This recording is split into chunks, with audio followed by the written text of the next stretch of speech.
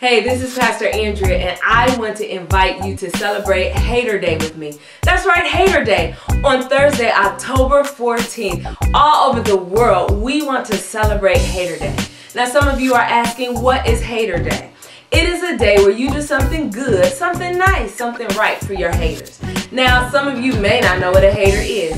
It is somebody who has done you wrong, criticizes you, sometimes tries to sabotage your success, a good old word for the good old enemy. But what we're trying to do is do right by the people who have done wrong to us. Thursday, October 14th. And for those of you who are in the San Bernardino Rialto area, we invite you to come on and join us for our Hater Day kickoff celebration. It is the last luncheon for Eat, Pray, Love. We're going to be talking about how to handle haters. We're going to have our hater cake and everything. So you don't want to miss it. We invite you to join us. We'll be at 214 North Palm Street in Rialto, California. We hope to see you there.